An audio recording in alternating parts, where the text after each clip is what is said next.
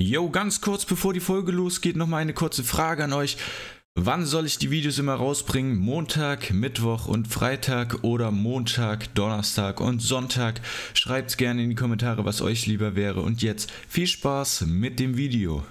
Hey, willkommen zurück zur nächsten Folge der Bochum-Karriere und heute werden wir auch wieder nur spielen, spielen, spielen und ich habe ja in der letzten Folge schon angekündigt, gegen wen es gehen wird. Uns erwarten heute nur Nordduelle, sprich wir spielen erst gegen die zwei Hamburger Clubs und danach gegen Werder Bremen. Ihr seht schon, als nächstes spielen wir gegen St. Pauli und ja, dementsprechend würde ich sagen, verlieren wir gar nicht allzu lange Zeit. Ich hoffe, diese Folge wird dich auch wieder unterhalten bzw. dir Spaß machen beim Gucken. Und ich werde mich natürlich riesig über einen Kommentar freuen. Und jetzt äh, viel Spaß mit dem Spiel gegen St. Pauli. Zehnter Spieltag in der zweiten Bundesliga und heute empfängt St. Pauli den VfL Bochum. St. Pauli ist mit 14 Punkten eigentlich relativ gut in die Saison gestartet und Bochum ist gut in die Saison gestartet mit 18 Punkten. Und dementsprechend, wenn St. Pauli heute gewinnt, wären sie ein Zähler dran an Bochum. Aber Robsch möchte natürlich den Abstand nach unten vergrößern. Und nun schauen wir erstmal auf die Startaufstellung St. Paulis. Brodersen im Tor, Pagarada, Avivor, Zigala und Weckhoff. Benatelli auf der 6, Salazar, Alremu auf der 8, Becker auf der 10 und vorne im Sturm Burgstaller und Engwall und äh, der Rechtsverteidiger hieß Wiekhoff. Okay. Und äh, ja, gute Mannschaft auf jeden Fall, die uns dort erwartet. Und auf deiner Seite Riemann im Tor, Danilo Lamprobulos, Bella Kotschap, Gamboa in der Verteidigung, Chipsalosia auf der Doppel-6, Holtmann, Blum über die Außen, Jule auf der 10 und Zoller im Sturm. Also, wenn man so will, eine Standardaufstellung, sprich die Top 11, die wir so ratingtechnisch ausstellen können. Und Robsch erhofft sich natürlich nach den eher schwachen letzten Spielen gute Leistungen heute, aber es geht gleich mal gut für St. Pauli los, denn das war die erste Torchance fast. Äh, Gerade so ist noch unser Verteidiger dazwischen bekommen. Und dann versucht Blum den Seitenwechsel und der misslingt komplett. Und jetzt Engwald setzt sich gut durch gegen Schipser und das ist Arimu, Arimu. Und jetzt schaut euch dieses Tor an. Was ein Traumtor von Arimu. Chippt den Ball unter Bedrängnis von der Strafraumgrenze über den Keeper hinweg. Das musst du erstmal so schaffen und vor allem musst du dafür erstmal die Eier haben, den dort zu lupfen. Ey, unter Bedrängnis setzt sich da gut gegen Lamprobulos durch, der da natürlich auch nicht gut aussieht. Aber ja, für Riemann letztendlich keine Chance. Also den kannst du nicht besser lupfen.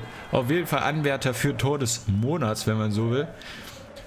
Da könnt ihr gerne mal auch in die Kommentare schreiben, ob ihr darauf Bock hättet. Habe ich euch, glaube ich, schon mal gefragt. Weiß ich bloß noch nicht genau, wie man das dann umsetzen sollte.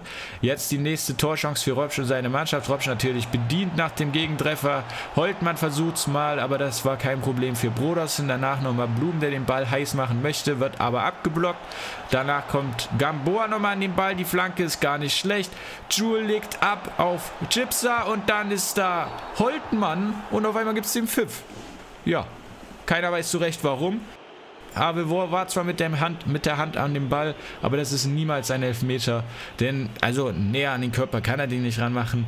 Dementsprechend trotzdem Elfmeter wieder fragwürdig, aber letztendlich gewinnt die Gerechtigkeit und Brodersen hält gegen Zoller schwach geschossener Elfmeter, wie wir jetzt hier nochmal sehen, halb hoch, fast zentral. Also für einen Keeper natürlich dankbar.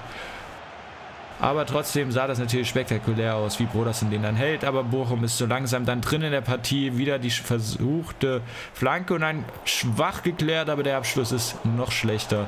Und dann Jule mal mit einer guten Idee. Geistesblitz auf Zoller. Zoller legt sich den Ball zu weit raus.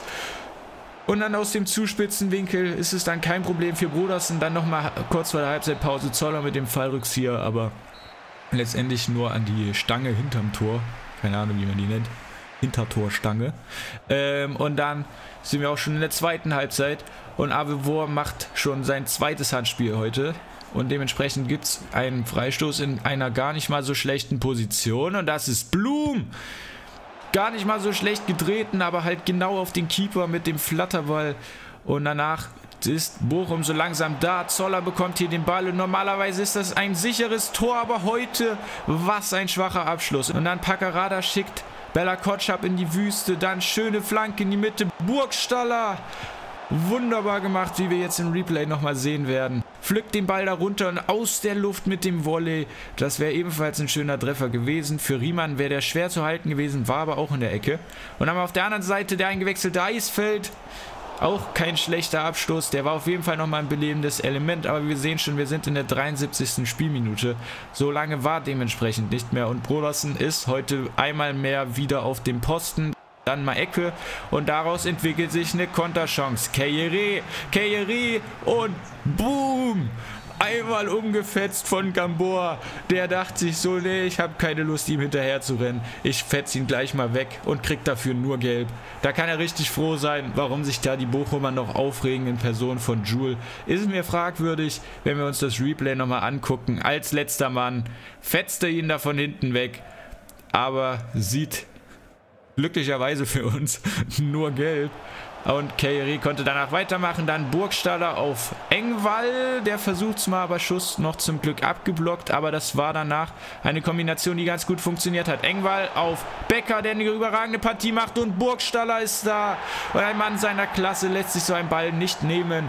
Haut das Ding ohne Zweifel rein nichts zu machen für Riemann in der Situation. Natürlich ein bisschen glücklich da für Becker, aber Finn Ole Becker hat auf jeden Fall eine gute Partie gemacht hier. Was heißt eine gute Partie? Der war meiner Meinung nach der beste Mann auf dem Platz. Und Burgstaller macht dann auch noch seinen dritten Saisontreffer in dieser Saison. Dritten Saisontreffer in dieser Saison, genau. Ja, hier, hier seht das nochmal. Der Guido mit seinem Tor. Und danach war auch schon Schluss. Enttäuschende Leistung von Bochum, muss ich so sagen. Nach zuletzt schwachen Leistungen zeigen wir erneut ein schlechtes Spiel und halt gegen gute Gegner verlierst du dann halt auch mal. Wenn du vorne keine Tore machst und hinten welche kassierst. St. Pauli kann sich freuen, springt ran an Bochum, nur noch ein Punkt Differenz. Arimu und Burgstaller letztendlich die Torschützen. Und für uns natürlich ein herber Rückschlag. Und äh, wir schauen jetzt auch gleich mal auf die Entwicklung äh, der Tabellensituation an. Ähm, nämlich da hat sich gar nicht so viel geändert, außer dass sich da oben noch mehr zusammengequetscht hat. Äh, da liegen mittlerweile nur noch wenige Punkte zwischen dem 10. und dem 1. Also da ist alles offen noch in dieser Zweitligasaison. Und unten ist auch noch äh, ziemlich offen. Das ging jetzt ein bisschen schnell. Ich wollte noch sagen, ähm, wir haben jetzt nicht wirklich Verluste nach oben gemacht, weil die ebenfalls nicht gewonnen haben. Aber nach unten ist natürlich jetzt äh, also eine Niederlage noch und wir sind gefühlter Neunter oder so. Und ich weiß nicht, die, die Leistung vor allem war enttäuschend. Mal wieder, wie in den letzten Spielen. Und da müssen wir, glaube ich, irgendwie, irgendwie mal was ändern. Und ja, da könnte man über eine Systemänderung mal überlegen. Ähm, weiß ich nicht genau, wie wir das machen wollen. Ob Fünferkette, Dreierkette äh, oder andere Spieler mal spielen lassen. Aber da wüsste ich auch nicht genau, wie. Also aktuell bin ich ein bisschen überfragt, aber defensiv ist es schwach ähm, weil wir in jedem Spiel gefühlt einen Gegentreffer kriegen, seitdem ich ultimativ spiele, was natürlich auch cool ist. Und offensiv schießen wir keine Tore mehr, was davor noch unser Trumpf war, äh, die ersten paar Spiele. Ja, jetzt sehen wir äh, etwas, was ich in der letzten Folge schon angesprochen habe und natürlich verlängern wir erstmal mit unserem Juwel Hardwick, sage ich jetzt mal. Äh, mit dem hätte ich sowieso verlängert, selbst hättet ihr geschrieben, mach's nicht aber ich bin davon ausgegangen, dass ihr es schreibt und das habt ihr auch geschrieben. Ähm, dann wollt ihr natürlich auch noch mit dem jungen Boboy verlängern und das hätte ich ebenfalls gemacht. Da wollte ich noch gucken, ob er sich entwickelt, weil hätte er sich jetzt gar nicht entwickelt, dann hätte ich ihn nicht verlängert. Aber der ist schon um eins hochgegangen in dieser Saison, deswegen geht das klar. Und dann habe ich noch geguckt, wer in Real Life in Frage kommen würde für eine Verlängerung und da ist es aktuell sehr heiß um den Kandidaten Bloom, deswegen habe ich den auch verlängert, da habe ich vergessen aufzunehmen. Und jetzt gehen wir rein ins Spiel gegen den HSV. Vor der Partie steht vor allem ein Mann in Fokus und das ist Robert Tesche. Dieser wechselte vor der Saison vom VfL Bochum zum HSV und genau das ist die Partie heute. Der Hamburger SV ist zu Gast beim VfL Bochum. Tesche wechselt somit vom Verein, bei dem er zuletzt drei Jahre verbracht hatte, zurück zu den Hanseaten, wo er schon fünf Jahre seiner Karriere verbrachte und auch das erste Mal Bundesliga schnuppern durfte. Er ist hier ein vertrautes Gesicht, aber Robsch legte kein Veto ein bei dem Transfer, war damit einverstanden, dass Tesche zum HSV wechselt.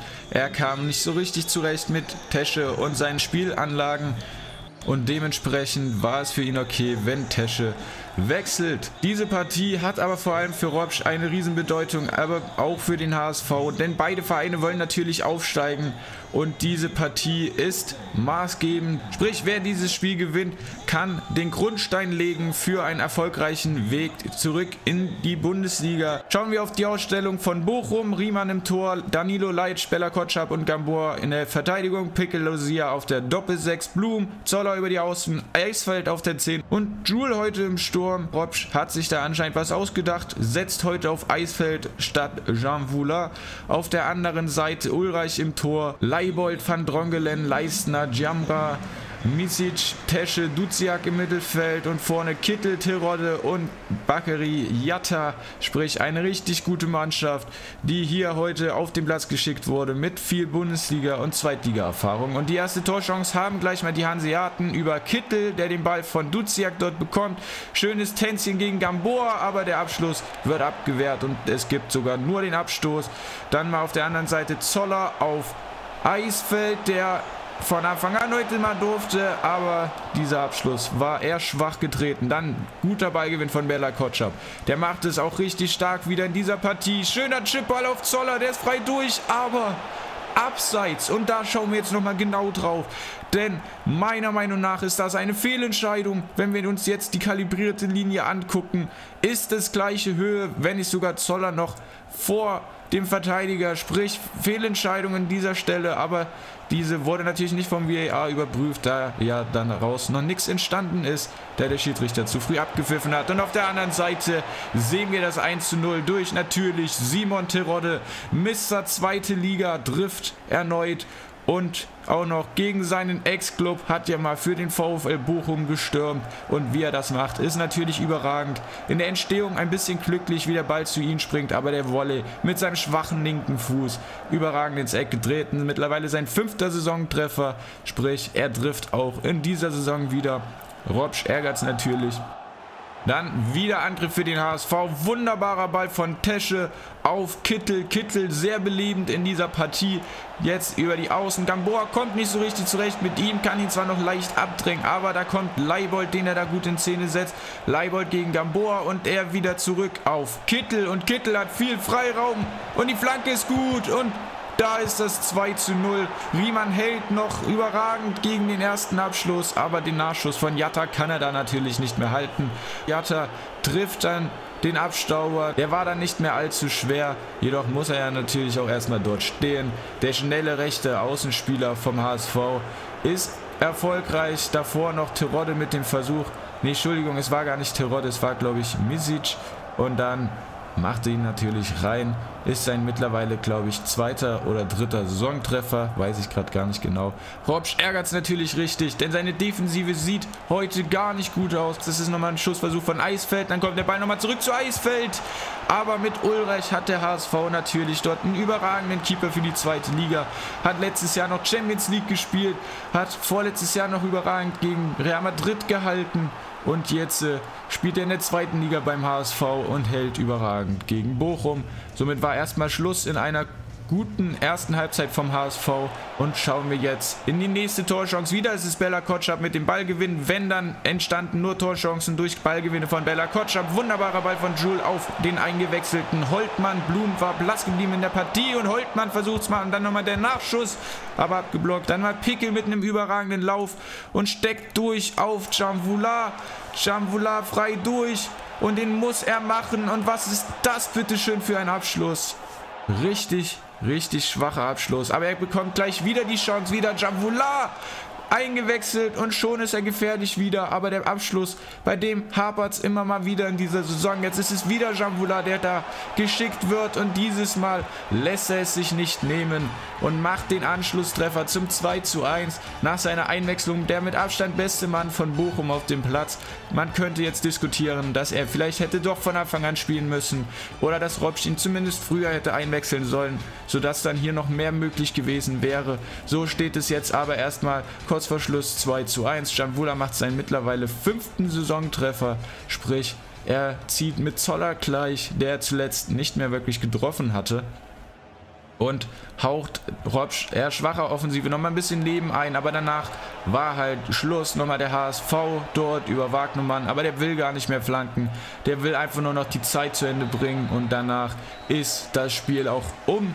Der Hamburger SV gewinnt mit 2 zu 1 gegen den VfL Bochum und macht damit einen Riesensatz, was das Aufstiegsrennen angeht. Und für Bochum ist es ein weiterer Rückschlag. Schon die zweite Niederlage in Folge und erneut wieder eine schwache Leistung. Ja, Spätestens jetzt können wir wirklich von der Krise sprechen. Ähm, jetzt die Tabellensituation sieht natürlich jetzt noch schlimmer aus, als sie eigentlich ist, weil wir noch weiter abgefallen sind, weil schon ein paar Spiele gespielt wurden, die ich halt nicht aufnehmen konnte, leider. Äh, aufgrund eines technischen Fehlers, den ich nachher zeigen werde. Aber wir sehen Düsseldorf aktuell auf Platz 1 mit Kräuter Fürth zusammen. Hamburg nur auf Platz 3, haben ebenfalls nicht gewonnen. Nürnberg noch gut dabei. Wir auf Platz 9 abgerutscht, aber wie gesagt, wir haben noch ein Spiel weniger als fast alle anderen. Sprich, wir können auch wieder hochrutschen, aber das hängt vom nächsten Spiel ab. Dementsprechend wird die nächste Episode wichtig. Richtig wichtig sogar. Ähm, denn ja, in dieser Folge spielen wir kein Ligaspiel mehr, denn das dritte Spiel ist natürlich im Pokal. Anders könnten wir natürlich nicht gegen Bremen spielen. Und ähm, ja, das kann ich jetzt schon mal sagen, da ist mir, was heißt mir? Also mein Aufnahmeprogramm hat da irgendwie ein bisschen gesponnen. Wir werden nachher auch sehen, was da sozusagen los war oder halt nicht los war. Und dementsprechend waren auch alle Aufnahmen, die ich danach gemacht habe, äh, konnte ich nicht verwenden. Aber ich dachte mir, das, was ich noch verwenden kann, zeige ich euch trotzdem noch. Das war eigentlich das Spiel, was ich vorhatte, so richtig gut zu kommentieren, aber das ist es jetzt nicht wert, weil äh, nicht mal mehr das halbe Spiel kann ich euch zeigen. Aber ich werde natürlich jetzt nicht vorwegnehmen, wie es ausgeht am Ende. Ähm, wir spielen gegen Werder Bremen im DFB-Pokal. Wir schauen auf die Aufstellung Pavlenka, Toprak, Lopez, Groß, Waldo, Möwald, Schmid, Barag, äh, Biragi, Entschuldigung, Dinci, Rashica und Füllkrug, sprich eigentlich Top 11 und zudem vertraut Kofeld dort auf den jungen Dinci, Dinci, Dinkshi, meine Güte, Dinkshi im Sturm. Ähm, Rashica natürlich überragender Mann, auf dem die Bochumer Defensive achten muss. Und auf der anderen Seite Drevis, der Pokalkeeper, wieder im Tor. Gamboa, Bella Kocha, Blamprobulos, Danilo, Pickel und Chipsa auf der Doppel 6. Bockhorn heute anstelle von Zoller, Holtmann, Jule und Jamvula. Zoller ist dann schon eine kleine Überraschung, dass der heute nicht spielen durfte, aber Robsch hat sich da natürlich sein Teil gedacht, äh, als er die Formation aufgestellt hat. Und dementsprechend können wir jetzt reingucken, wie das Ganze so ausging.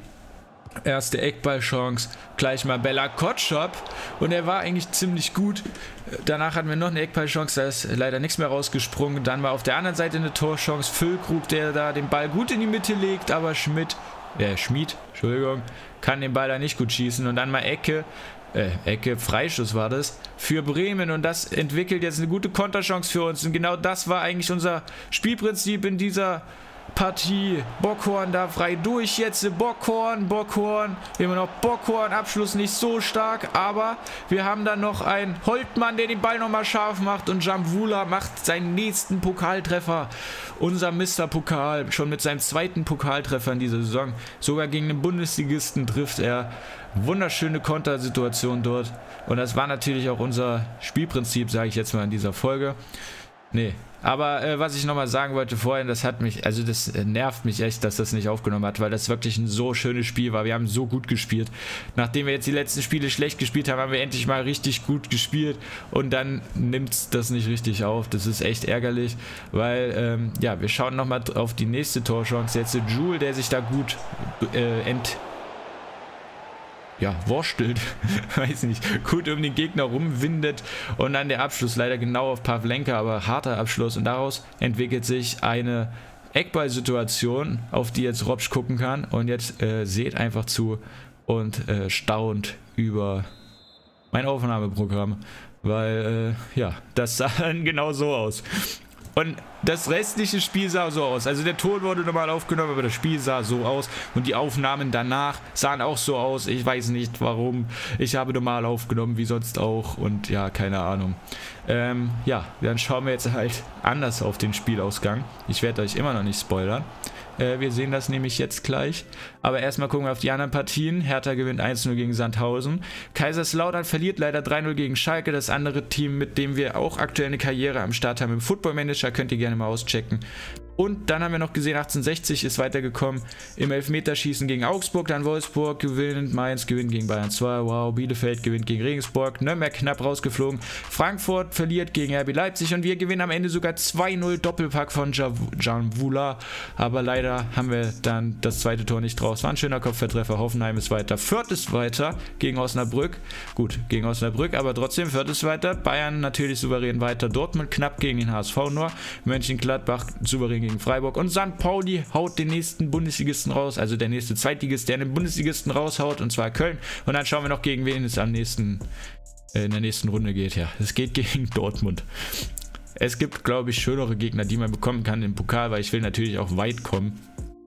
Also weiterkommen, aber vor allem weit weiterkommen.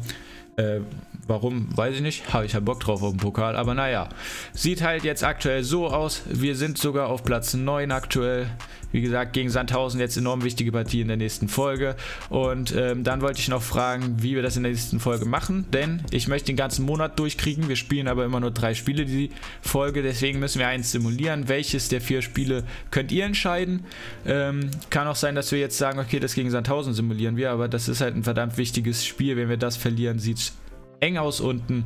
Dementsprechend, ja, kommentiert gerne, was das angeht. Transfervorschläge sind auch immer willkommen. Und ansonsten hoffe ich, dass die Folge euch trotzdem gefallen hat, auch wenn es diesen Aufnahmefehler gab.